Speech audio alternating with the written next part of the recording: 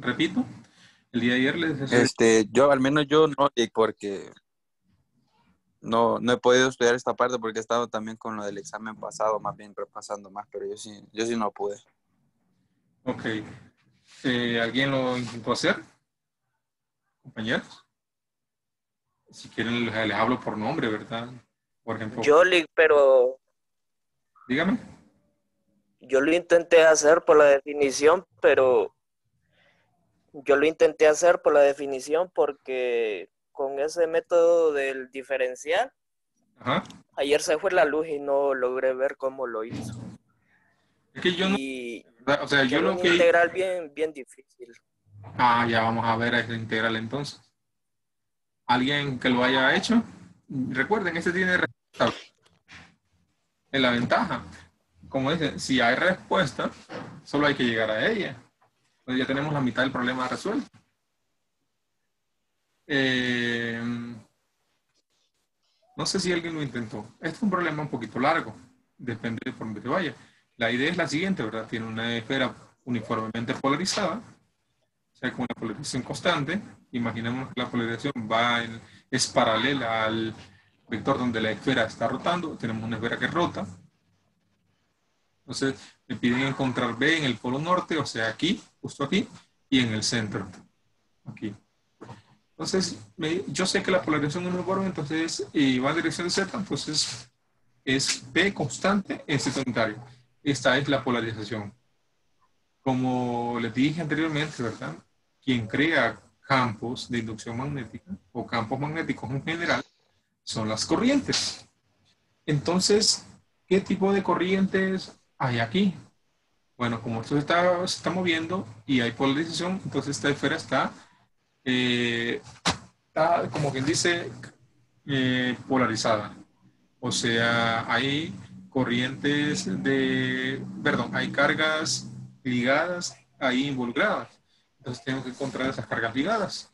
Aquí tengo la densidad volumétrica de carga ligada, que es igual al negativo de la divergencia de, de la polarización. Como la polarización es constante, cuando aplico la derivada de la divergencia, se vuelve cero, ¿verdad? Entonces, no hay no hay, en este caso, está grabándose, compañero. Eh, no hay, en este caso, eh, densidad volumétrica de carga ligada. Ok, con respecto, con respecto a la densidad superficial de carga ligada, es el punto polarización. Y eso, como el vector normal viene en dirección de R y la polarización va en dirección de Z, entonces me queda la magnitud del primero que es P, la magnitud del segundo que es 1 por el coseno del ángulo que lo separa. En este caso lo separa teta punto. Entonces aquí tenemos las densidades de corriente. Densidad de corriente ligada sería la densidad de carga volumétrica ligada por la velocidad, que es igual a cero, la densidad superficial de carga de corriente ligada, que es igual a la densidad superficial de carga ligada por la velocidad. Como esto gira en torno al eje Z, entonces eh, yo puedo encontrar fácilmente la velocidad tangencial de cualquier punto dada por el producto cruz de la velocidad angular con respecto a el vector R. Entonces aquí vemos que la velocidad angular es omega en Z y el vector R, como la carga está en la superficie, pues sería A por R unitario. Al hacer este producto cruz me queda omega a seno de teta punto en phi unitario. De esta manera. Ok, entonces ya tengo la densidad superficial de corriente este, al sustituir B aquí. Yo les dije ayer que hay dos métodos para hacer este problema. El método 1 es por la definición y el método 2 es por utilizando un resultado conocido. ¿Qué conocemos que nos pueda facilitar? Bueno, básicamente yo conozco el campo generado por una espira. Entonces, si yo formo con pequeñas espiras toda la esfera, entonces y yo puedo encontrar el campo con esa respuesta que yo ya conozco. No sé si me explico. Entonces, es como ir formando toda la esfera con pequeñas espiritas.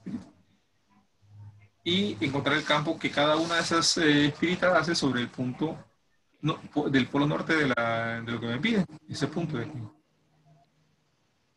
Entonces, ¿cómo lo hago? Bueno, eso es un gran dilema, ¿verdad? Los dos dan la misma respuesta. Los dos métodos, solo que el análisis es diferente. Entonces, ya aquí, para este caso, para esta clase en especial, eh, digamos así, la siguiente que voy a utilizar el método 2, entonces utilice el método 1 por la definición. No utilice los dos métodos porque me resulta aburrido, ¿verdad? Hacer el mismo problema dos veces. Entonces, eh, utilicé el método 1 nada más. Ustedes pueden probar por el método si gustan.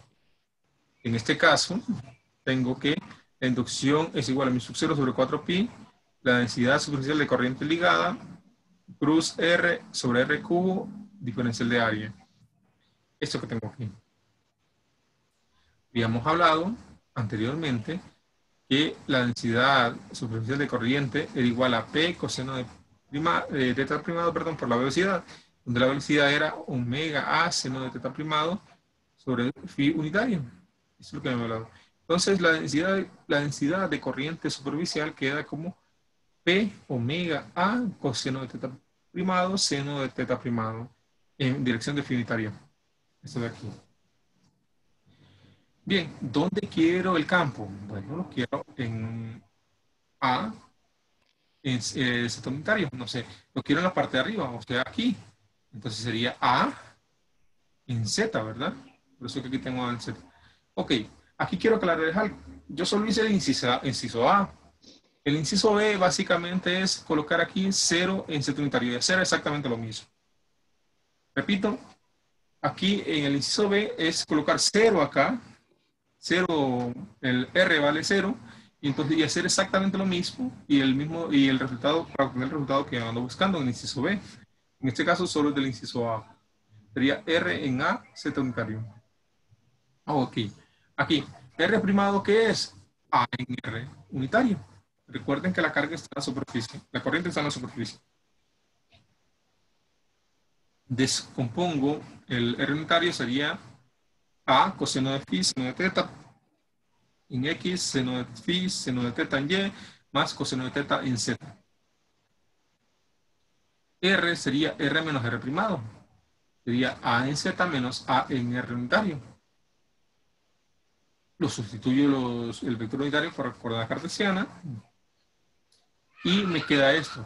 Menos A coseno de phi, seno de teta primado, X unitario, menos A seno de phi, seno de teta, eh, y, unitario, más A menos A coseno de phi, de teta primado, perdón, en Z unitario. Este es R que tengo aquí.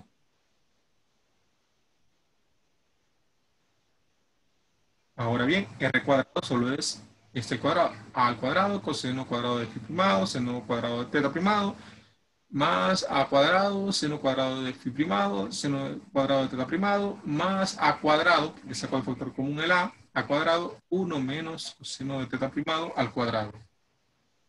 De esta forma. Ahora me fijo que en los dos primeros términos de esta expresión tengo de factor común el seno de teta cuadrado. Ah, perdón. A cuadrado, seno de teta cuadrado de factor común. Me queda coseno cuadrado de phi primado más seno cuadrado de phi primado, que eso es igual a 1. Aquí coloco a cuadrado y expando este binomio. Entonces va a ser el cuadrado del primero, que es 1, más el cuadrado del segundo, que es coseno cuadrado de teta primado, menos dos veces el primero por el segundo, que sería dos veces por 1, coseno de teta primado. Sería 2 coseno de teta primado. Eso que tengo aquí. Lo que hice es expandir esto, ¿verdad? Aquí. Entonces me va a quedar a cuadrado, seno cuadrado de teta primado, más a cuadrado, más a cuadrado, coseno cuadrado de teta primado, menos dos veces a cuadrado, coseno de teta primado. Me fijo aquí que este primer término y el tercer término, puedo sacar el factor común al cuadrado. Entonces, coloco este primero, al cuadrado, después, más a cuadrado, es factor común de seno cuadrado de teta primado, más coseno cuadrado de teta primado, todo es menos dos veces al cuadrado coseno de teta primado. Ok, esto es 1. Me fijo que me queda al cuadrado más al cuadrado sería dos veces al cuadrado, ¿verdad? Aquí tengo dos veces al cuadrado, aquí tengo dos veces al cuadrado coseno de teta primado. Entonces puedo ver que R, aplicarle la raíz para, para encontrar R, sería dos veces a cuadrado, 1 menos coseno de teta primado. De esta manera. Recordándoles también que unitario es igual a menos seno de phi x unitario más coseno de phi unitario. Ok. Aquí, si ustedes pueden ver, tengo un producto cruz. Bien, la corriente K va en dirección de phi unitario. Repito, la corriente K va en dirección de phi unitario. Entonces, aquí lo que hice fue hacer el producto cruz. Phi unitario cruz R vector. Porque es lo que ocupo, ¿verdad? Aquí. Phi unitario cruz R vector. Y claramente tengo que tener cuidado de recordar colocar ese término que me hace falta, ¿verdad? Aquí solo es el producto cruz, solo el producto cruz. De la dirección del vector K, cruz R unitario. Entonces, coloco A, ¿de dónde sale este A?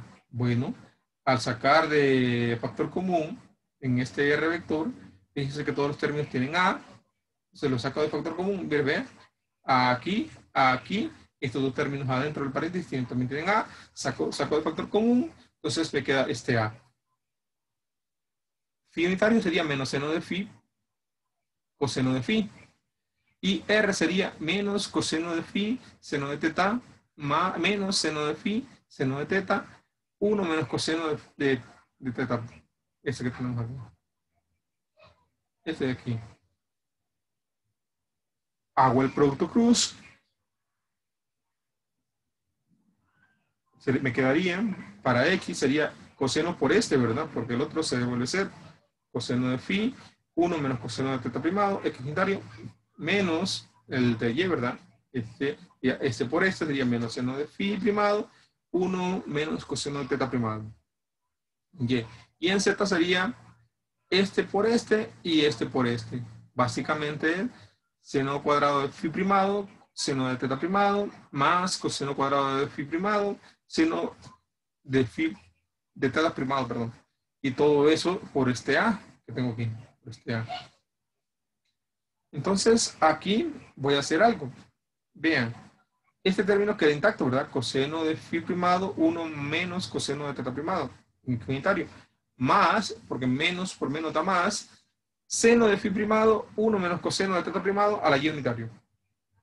Más, aquí puedo sacar de factor común el seno de teta primado, me queda seno cuadrado de phi primado más coseno cuadrado de phi primado. Es igual a 1, entonces me queda que esto es seno de teta primado en z unitario. Todo esto por A. Por A. Otro término que me voy a, que va a ser muy útil es el diferencial de área.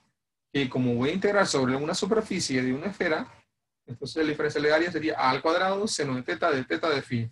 De esto. Estamos de acuerdo con ello. No sé si tienen alguna pregunta aquí.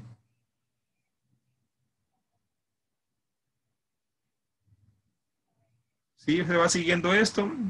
Este, este, una pregunta, este, usted mencionó que teníamos los dos métodos, ¿va? Pero ¿cómo podríamos identificar cuál sería de, mayor conveniencia a la hora de hacer un ejercicio? Ah, en este caso, Porque, por ejemplo, en este caso ninguno de los dos, pero hay casos que sí. Nosotros seguimos las simetrías, por ejemplo. Eh, si es bueno, es que hay algunos casos en el cual se puede ver cuál es más fácil. Hay otros casos en que no se puede ver cuál es más fácil. Entonces uno pierde, puede perder un poco de tiempo en ello. Entonces, los dos métodos son exactamente los mismos. Vamos a utilizar lo mismo. ¿Por qué? Vamos a llegar a la misma integral. Vamos a llegar a la integral, y, pero los dos requieren el tiempo de la misma forma, o sea, el mismo tiempo para hacerlo. Entonces depende de cada problema. Eh, muchas veces lo podemos ver, otras veces no.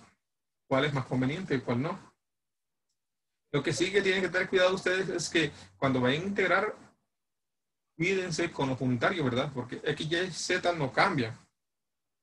Pero Rho, Phi, Theta y R sí cambian, ¿verdad? En, en los otros tipos de coordenadas. Entonces, eso sí tienen cuidado.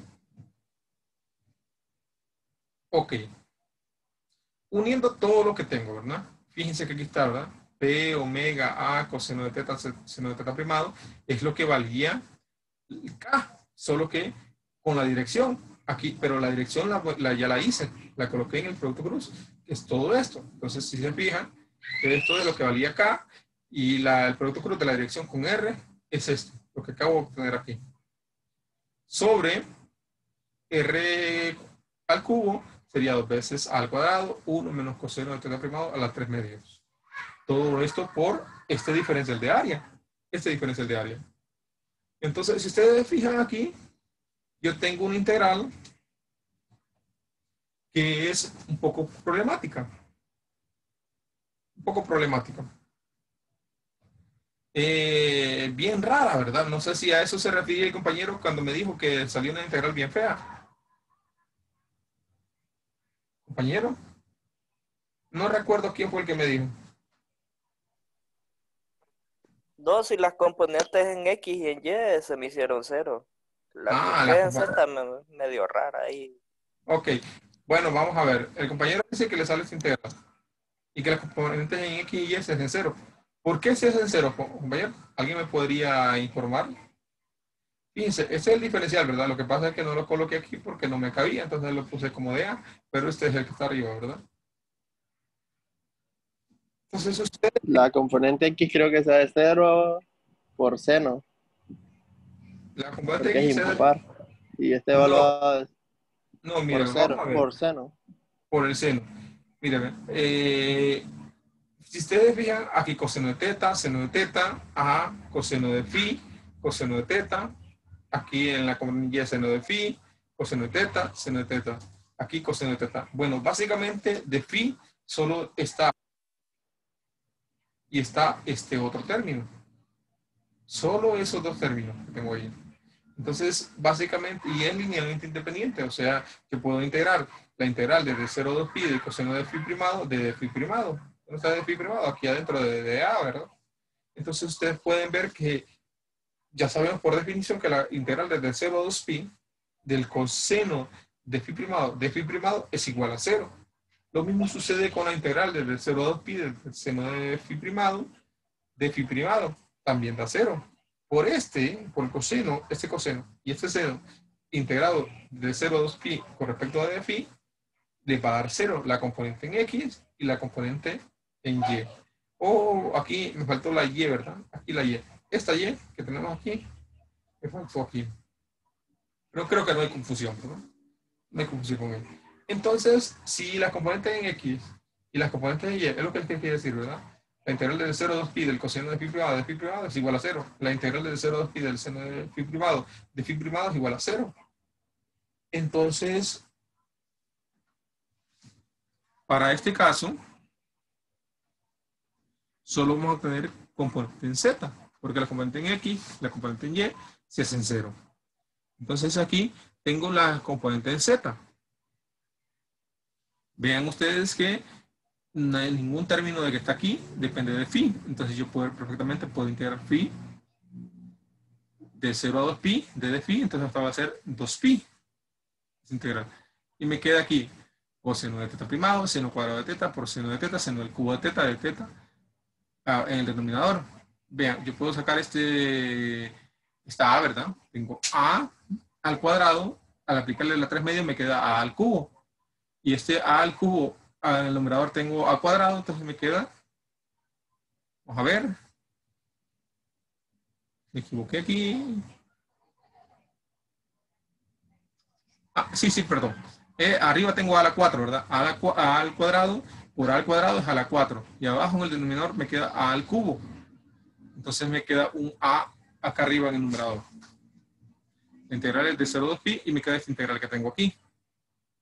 El 2, 2 a la 3 medio es igual a la raíz cuadrada de 8. No sé si recuerdan, ¿verdad? Porque 2 al cubo es igual a 8 por la raíz cuadrada. Está de aquí, entonces tengo raíz cuadrada de 8. Este 2pi cancela con esto, me queda 2 raíz de 8. Aquí me queda esta integral del 0 a pi, el coseno de teta primado, el seno al cubo de teta primado, 1 menos coseno de teta primado de teta primado. Aquí. Al final, todo ese gran, toda esa gran cantidad de, de variables ¿verdad? queda, queda de esta forma, en integrar esto que tengo aquí, en hacer esta integral. No sé si el compañero se refería con esa integral, la que era muy complicada, o le quedaba de otra forma. No, sí, esa. Lo que pasa es que yo la había trabajado para un Z en general. Y por eso no, no podría simplificar a- el 2A cuadrado. Ah, ok. No, pero ya ahí usted podía especificar y le, salía- le tenía que salir lo mismo. Le tenía que salir lo mismo. Aquí, este integral. Para cualquier set. Bien. Lo que hacemos aquí es simplemente hacer un cambio de variable. U igual a 1 menos coseno de teta primado. De U es igual a seno de teta primado de teta primado. Entonces, de aquí despejo para coseno, porque fíjense que arriba me queda un coseno de teta primado, entonces despejo para coseno de teta primado, va a ser 1 menos u. Ok, vean, el d de u tiene un seno de teta primado, entonces aquí tengo que separar uno, me va a quedar seno cuadrado de teta primado, acá arriba en el numerador. El seno cuadrado de teta primado es igual a 1 menos coseno cuadrado de teta primado. Eso es igual a 1 menos 1 menos u al cuadrado. Esto es igual a 1 menos 1 menos 2 veces u más u al cuadrado, expandiendo esto. Y esto es igual a u por u menos 2. Ya sustituyendo todo dentro del integral, va a quedar en el denominador, el denominador ¿verdad? u a la 3 medios. El numerador coseno sería 1 menos u. Y, y el seno cuadrado me queda u, u menos 2 por d de u. En secundario. No sé si me van siguiendo en estos cambios de variables que estoy haciendo.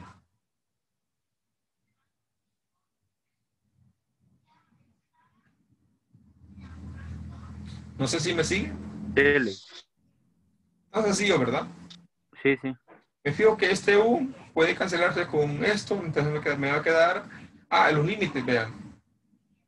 Cuando coseno, de- cuando teta primado sea 0, el coseno de 0 es igual a 1. 1 menos 1, 0, ¿verdad? Cuando el coseno sea pi, entonces el coseno de pi es menos 1. Menos por menos da más. Entonces me va a quedar 1 más 1, 2. Ok, entonces me queda de esta forma, ¿verdad? Con, con esos límites. Con esos límites. Bien, entonces lo que voy a hacer es expandir este producto, me queda de esta forma,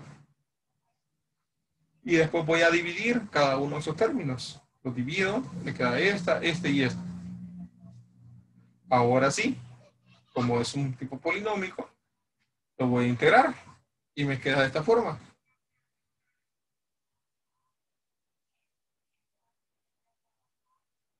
Me queda de esta forma. Ok. Ya aquí, lo que hago es sustituir el valor del límite. Me queda 2 sobre 5 la raíz cuadrada de 32, menos 6 sobre 3 la raíz cuadrada de 8, más 4 sobre la raíz cuadrada de 2. Esto de aquí. Y esto es simplemente 8 raíz cuadrada de 2 por 5. Al evaluarlo esto con estos números que tengo aquí, me va a quedar menos 2 veces 5 es 0 P omega por A en dirección del centro unitario. Eso es lo que me queda. Eso es lo que me queda. No sé si tienen alguna pregunta aquí. Este es el inciso A. El inciso B es hacer lo mismo, solo que aquí le ponemos 0. O si lo hizo como el compañero para un Z en general, cuando llegamos aquí, ¿a? Aquí, hasta este punto, aquí, decimos, para Z igual a A y o para Z igual a 0, entonces ahí sí le vamos, a tener exactamente la misma integral que yo tengo aquí. Así.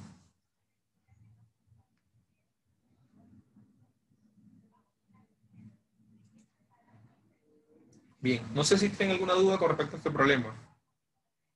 Problema un poquito largo. Es que el problema no, no, el problema es la integral, no tanto la comprensión del ejercicio, sino que Pero si poder desarrollar una integral así en cercana.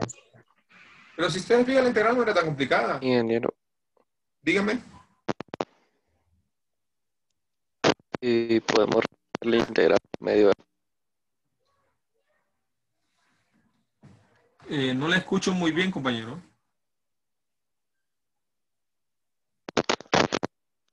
resolver la integral por medio de las tablas que utilizamos en 321. Ok, bien. Eh, si la integral es complicada, pueden utilizar tablas o matemática incluso. Si la integral es complicada. Si la integral es simple de hacer eh, y tienen tiempo, háganla. Como dice un profesor por ahí, eh, aunque la mona se vista de seda, pero se vistió de seda al menos. O sea, ¿qué, ¿qué les quiero decir con ello? Que puede ser que tengan algún error y la respuesta esté mala, pero si usted intentó hacer el problema, se le reconoce ese puntaje. A diferencia de que usted haya intentado hacer el problema este malo y utilizó las tablas, entonces ahí no se le reconoce mucho. No sé si me explico. Si usted, eh, si usted resuelve la integral y se equivocó en algún punto, pues se le considera, ¿verdad? Porque trabajó. No sé si me explico. Si no, pues se le considera hasta donde llegó. Pero sí puede utilizar las tablas. Puede utilizar matemática. Si la integral es muy complicada, entonces usted solo me tiene que indicar qué fue lo que hizo de un paso a otro.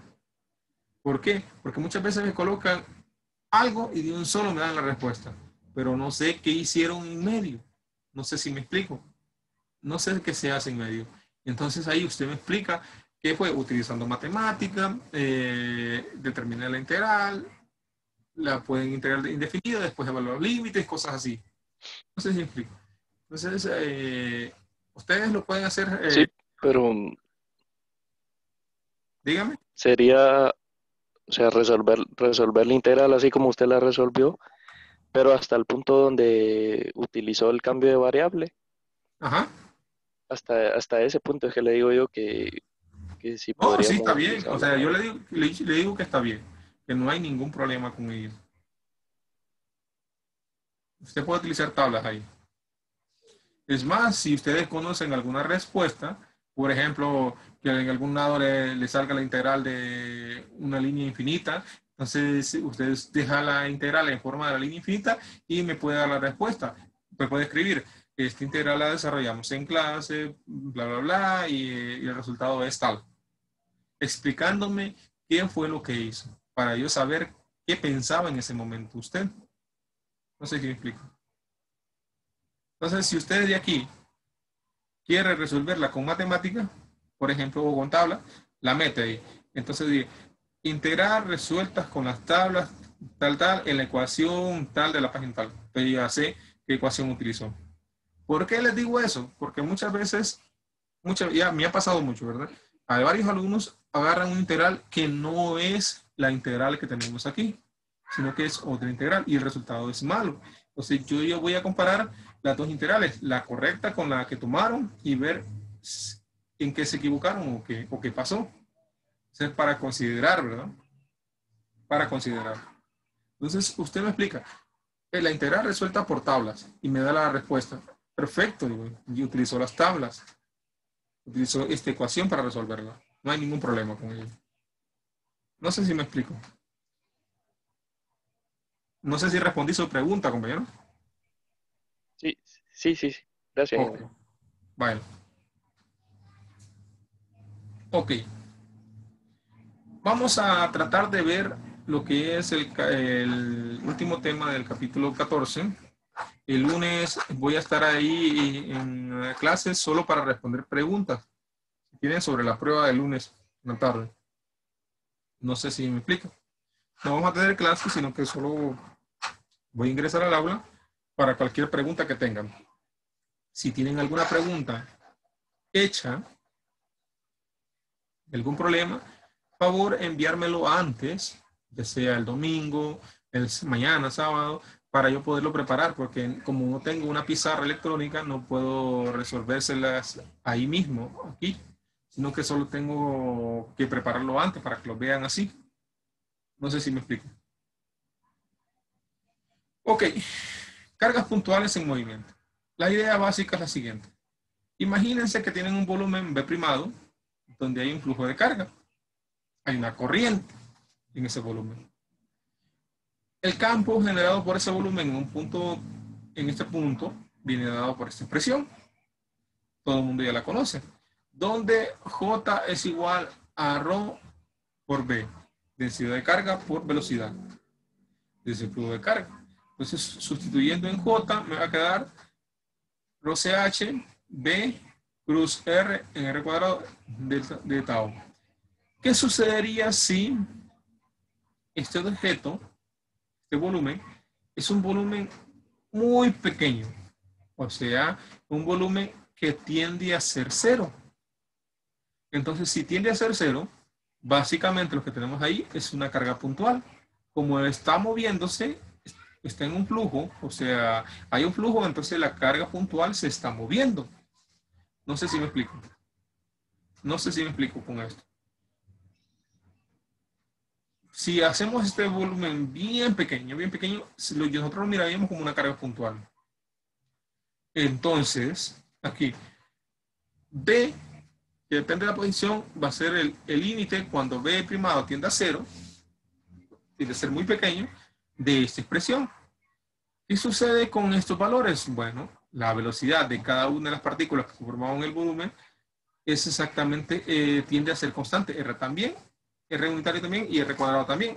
Cada una de las partículas que formaban el volumen, al ser muy pequeño, tienden a ser muy B constante con respecto a esto. Entonces pueden salir de la integral. Recuerden que la integral es con respecto al volumen, ¿verdad?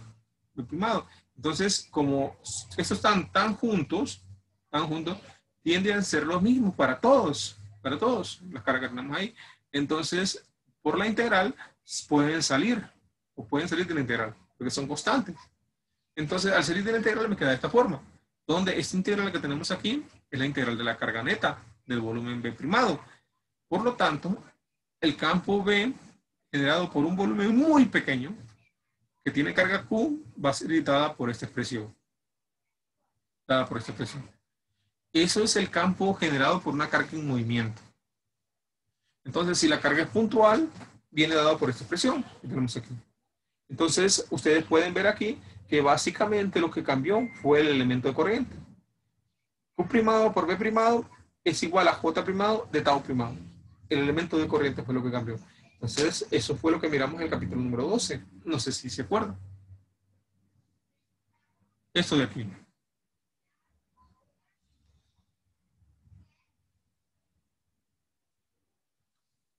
Esto de, de aquí. Ok. Esa es el campo generado por una carga puntual. ¿Qué sucede ahora si tenemos una carga que se mueve en un campo de inducción externo? O sea, hay un campo externo generado por, por cualquier cosa, realmente no nos interesa en este momento, y nosotros movemos una carga en ese campo. Entonces queremos ver qué sucede. Bueno, no sé si se acuerdan que cuando había un campo y había una corriente, se, existía una fuerza, una fuerza, ya sea atracción o repulsión, dependiendo de cómo era. Una fuerza, ley de Ampere. Entonces, cambiando el elemento de corriente, el diferencial de fuerza va a ser eh, Q por B, cruz B. O sea, cambiando este elemento de corriente. Entonces, esta que tengo aquí es una fuerza sobre una carga en movimiento. Si a esto tenemos una fuerza causada por un campo magnético o sobre una carga y en el espacio existe un campo eléctrico, nosotros llegamos a esta expresión. Fuerza magnética, la que acabamos de encontrar, y esto es fuerza electrostática, de electricidad, de ley de Coulomb. Esta de aquí. Entonces, a esta cosa que tenemos aquí, es la suma de dos fuerzas de la, de la interacción